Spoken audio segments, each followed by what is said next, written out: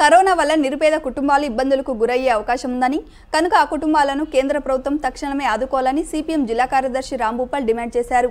అనంతపురంలోని CPM కార్యాలయంలో media సమావేశంలో వారు మాట్లాడుతూ కరోనా వైరస్ వ్యాప్తి చెందకుండా ఉండాలంటే ఇంటి నుంచి బయటకు రాకూడదని ప్రభుత్వం చెబుతోందన్నారు. అయితే రెక్కాడితే గాని డొక్కాడని నిరుపేదలు ఎంతో మంది ఉన్నారన్నారు. అలాంటి కుటుంబాలకు ఉచితంగా ఆహార ధాన్యాలను ప్రభుత్వం పంపిణీ చేయాలన్నారు. ఇప్పటికే ఏడు కోట్ల మెట్రిక్ టన్నులకు పైగా ఆహార ధాన్యాలు నిల్వ ఉన్నాయని కనుక వాటిని పంపిణీ చేసేందుకు రాష్ట్ర ప్రభుత్వానికి ఉత్తర్వులు జారీ చేయాలన్నారు.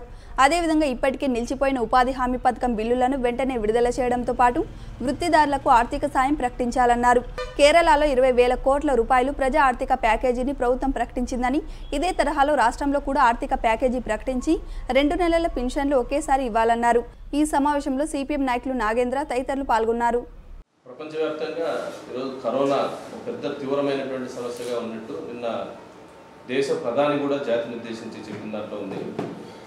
ప్రపంచ యుద్ధాల కంటే కూడా ఇది తీవ్రమైనటువంటి పరిస్థితి అని చెప్పి ప్రధాని చెప్పినందున సత్వరం ఈ కరోనా వైరస్ వ్యాప్తి చెందకుండా నివారించేదానికి తక్షణం కేంద్ర ప్రభుత్వం రాష్ట్ర ప్రభుత్వాలు చర్యలు చేపట్టాలా? ఈ చర్యల్లో ఎక్కువ మంది ఇంటి నుంచి బయటికి రాకపోతే ఇది వ్యాధి వ్యాపించకుండా ఆపవచ్చు అన్నట్టుగా ప్రభుత్వ సలహాలు ఉన్నాయి. కానీ భారతదేశంలో అత్యధిక మంది గ్రామీణ ప్రాంతాల్లో నివసిస్తున్నారు. అందులో అత్యధిక మంది పేదలు. కాబట్టి ఇళ్ళ నుంచి వారాలకు తరబడి నెలల తరబడి బయటికి రాకపోతే వాళ్ళ జీవనం అనేది తీవ్రమైనటువంటి సంక్షోభాన్ని ఎదుర్కొంటుంది. కాబట్టి ప్రభుత్వాలు వారి జీవితాల్ని కాపాడేందుకు చర్యలు తీసుకోవాలనేది మేము ప్రభుత్వానికి కోరుతున్నాం. ఉదాహరణ కేంద్ర ప్రభుత్వం దగ్గర ఎఫ్సిఐ గోడౌన్లలో ఏడు కోట్ల యాభై లక్షల టన్నుల ఆహార ధాన్యాలు నిల్వ ఉన్నాయి. అది ఫిబ్రవరి ఒకటి నాటికే. ఇంకా ఈ మార్చిలో సహజంగా పెరుగుతాయి. కాబట్టి ఇంత పెద్ద సంఖ్యలో ఆహార ధాన్యాలు ఉన్నాయి కనుక వాటన్నిటిని దారిద్ర రేఖలు దిగువన ఉండేటువంటి వాళ్ళందరికీ ఉచితంగా అన్ని రకాల ఆహార ధాన్యాల్ని ప్రభుత్వం కేంద్ర ప్రభుత్వం సరఫరా చేయాలా. ఆ మోతాదులో రాష్ట్రాలకు వెంటనే విడుదల చేయాల్సిన అవసరం ఉంది. ఎందుకంటే అత్యధిక మంది పనులు కోల్పోతారు బయటికి పోలేరు. వాటితో పాటు గ్రామీణ ప్రాంతాల్లో కూలీలు వీళ్ళందరూ కూడా పనులు కోల్పోతున్నారు. ఇప్పటికీ అనేక రకాల వ్యవసాయ ఉత్పత్తులన్నీ ధరలు పడిపోతున్నాయి. చికెన్ సెంటర్లు పౌల్ట్రీ ఇండస్ట్రీ రవాణా టూరిజం ఇవన్నీ కూడా దాదాపు ఆగిపోయిన పరిస్థితికి వచ్చింది. కేరళ రాష్ట్ర ప్రభుత్వం ఏ రకంగా అయితే స్పెషల్ ప్యాకేజీ ఇరవై వేల కోట్ల రూపాయలతో ప్రకటించిందో ఆంధ్ర రాష్ట్రంలో కూడా ఇక్కడ ఉన్నటువంటి వైఎస్ఆర్సీపీ ప్రభుత్వం అదే తరహా ఆర్థిక ప్యాకేజీని ఒకటి ప్రజల కోసం ప్రకటించాలి.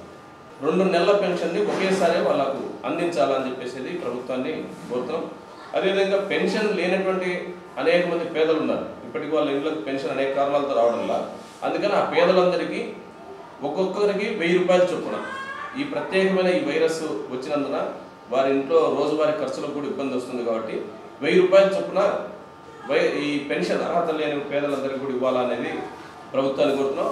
ప్రత్యేకంగా మన జిల్లాకు సంబంధించి ఉపాధి హామీ పథకం కింద ముప్పై నాలుగు కోట్ల రూపాయల బిల్లులు పెండింగ్ ఉన్నాయి. ముప్పై నాలుగు కోట్ల రూపాయలు అనేది చాలా పెద్ద అమౌంట్ ఈ జిల్లాలో. అందుకని ముప్పై నాలుగు కోట్ల రూపాయలని కేంద్రం విడుదల చేస్తుందా? రాష్ట్రం ఎక్కడి నుంచైనా సర్దుబాటు చేస్తుందా?